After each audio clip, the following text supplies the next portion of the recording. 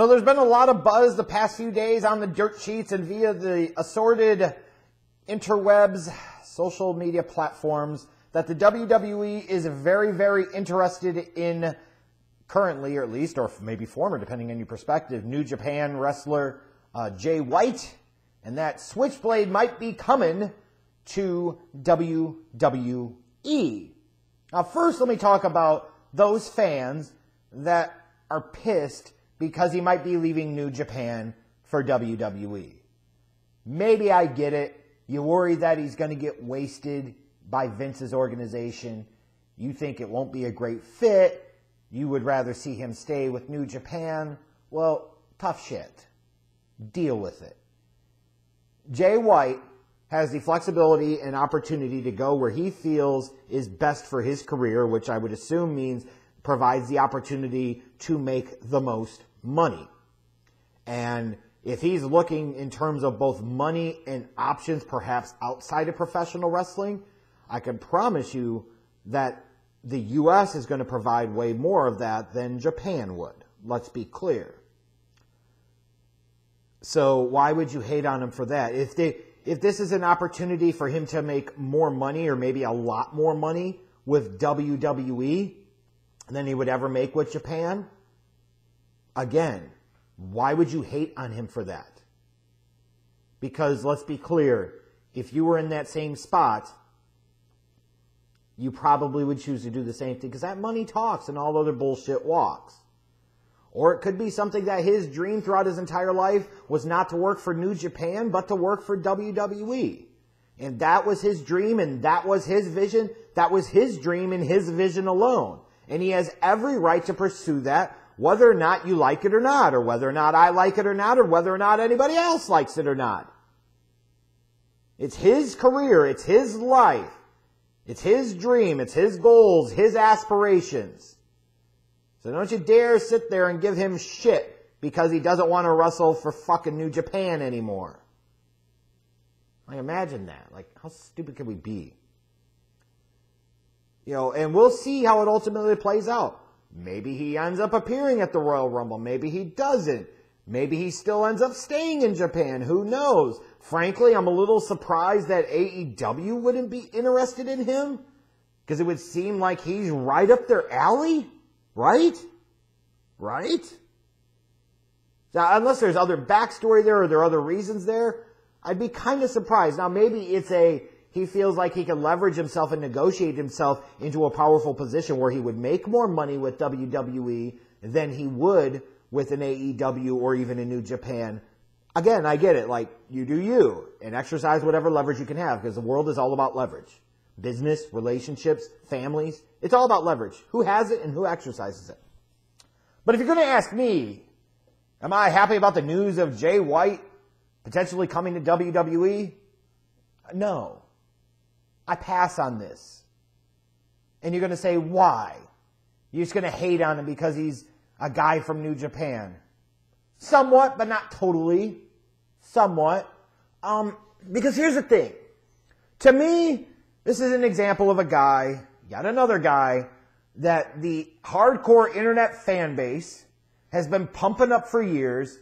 And so many of these guys that I've seen them pump up over the years, when I actually kind of lay my eyes on them and really start to pay attention to them, I'll look at them and say, damn, these guys suck. Like, what the hell are these hardcore fans talking about? What the hell is so star-spangled, spectacular, and awesome about them? Like, for years I've heard about the cleaner, Kenny Omega. That dude is boring as shit. He does not translate to North American wrestling nearly as much as he does Japanese style wrestling. That's clear and that's obvious. Isn't it? Like even hardcore Omega fans hardcore cleaner fans, hardcore Bullet Club marks have expressed disappointment with his run in AEW. Right? I used to hear for years about how awesome Ricochet was until you find out that Ricochet can't do anything but flip and bump around like so many other damn guys in professional wrestling. So what the hell is so special and spectacular about him? if Ricochet was one of the few that did what he did, I would totally get behind it. I would totally understand. I'd be like, you know what? That's unique. That's somebody, something different. Not everybody needs to talk. Not everybody needs to be a larger, over the top character and personality. I, I, I'm with you on that. But the problem is, you got so many damn ricochets and too many wrestling fans sit there and take their narrow view of what they enjoy about professional wrestling, which is the match and move mark bullshit, and think that that carries over to all of professional wrestling and think that's the thing that's going to entertain the most people and it's not. It is not. It's just not how it works. And we've been having this discussion on here for over a damn decade now and it still doesn't sink through people's heads. And it only gets worse. I've seen it with Omega. I've seen it with the Young Bucks, God forbid. These guys are great and these guys are awesome. They are great and awesome if you're the type of hardcore fan that does not care about storytelling, that does not care about characters, does not care about consistency, does not care about any of that crap. If you only care about who could do the most moves, then obviously those guys are perfect for you. Cool. They appeal to you. Doesn't mean that they appeal to a larger audience. And when I look at a Jay White, at least I say, hey, you know, here's a guy, 6'1", 220 pounds, you know, kind of Seth Rollins-ish size. You know, compared to a lot of other guys you see, like he's, he's, he's on the bigger side, it seems like for professional wrestling now. Which, that in and of itself, if you're bland as shit and you wrestle just like everybody else, just means you're a taller version of the same vanilla midget that everybody else is.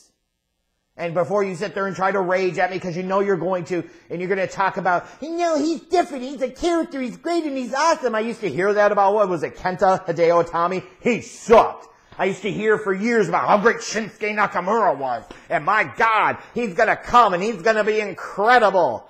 And then once he got away from NXT, what happened?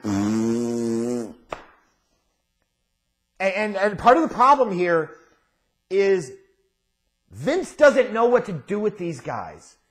His creative team doesn't know what to do with these guys.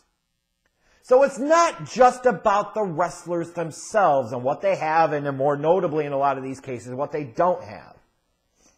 It doesn't matter if Jay White could cut a tremendous promo. He can't, but assuming he could. Let's say that he could be a larger than life personality. Just because you give yourself a name doesn't mean you're a great personality or character. It doesn't mean you know how to tell stories. Like when you come and you transplant yourself to the WWE, it's an entirely different environment, an entirely different reality. This is not just like a, a transition, let's say, from an Impact Wrestling or an AEW or an NWA and whatever to WWE today. New Japan is the ultimate other extreme in, in many ways. And Vince has never gotten that. He doesn't get it now and he never will. And the people that work with him never will. So even though you might think he's great and is awesome, I don't think he is. I just think he's a slightly better version than a lot of the other crap we already see. You know, like I look at him and I say, what's so different from him in Undisputed Era? Nothing. And what is Undisputed Era? The one that the hardest of hardcore match marks really like and nobody else fucking does because they know they're vanilla and bland as shit. Like, there's nothing special about him. Nothing stands out.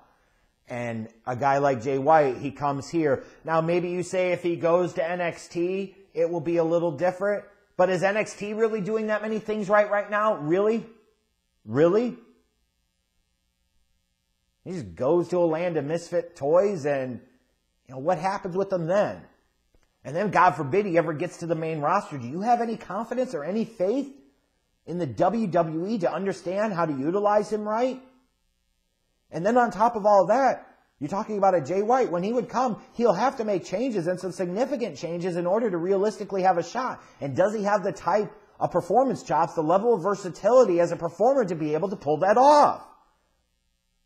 I doubt it.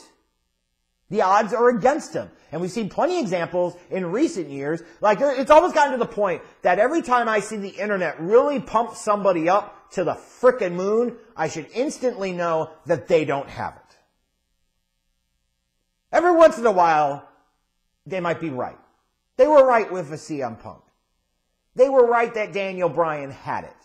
They weren't right about how Daniel Bryan would demonstrate that he had it because the Daniel Bryan of 2009-2010 was not a main event WWE type of player.